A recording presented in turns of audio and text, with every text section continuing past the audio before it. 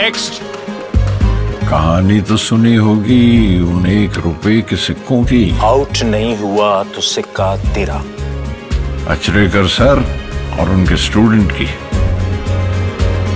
एक रुपए में हीरा तराश जाती है एक सिंपल सी पेमेंट कुछ बड़ा कर जाती है।